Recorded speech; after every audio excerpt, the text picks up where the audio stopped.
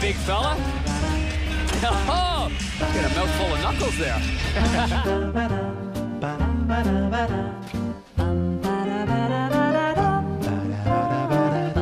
It's Valentine's Day. It's a perfect time to celebrate all the love that happens at sporting events. Ah, yes, romance, it's in the air. Fans just can't help it. They have to make a public gesture of their love. There was a couple on the scoreboard in center field where the guy asked the young lady to marry him, took out the ring, and the ring dropped, and they could not find it. And they're looking now under the chairs to see if they can get the ring. Panicked and looked. They're looking, they're looking for the ring. Oh my goodness. Oh, that's not a good start. Wait a minute. They're smiling. Yeah. Found it. Yeah. Oh, oh, that's great.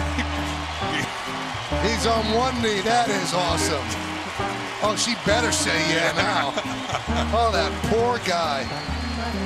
Congratulations. Oh, the love is strong. No matter what game you're attending or how famous you are.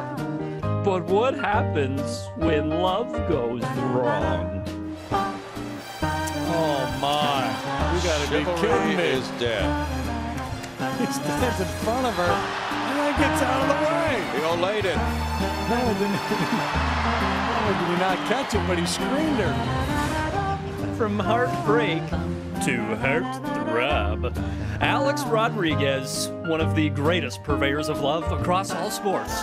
Yes, Alex has been known to bring a partner to one of his games, or a football game, or even a basketball game.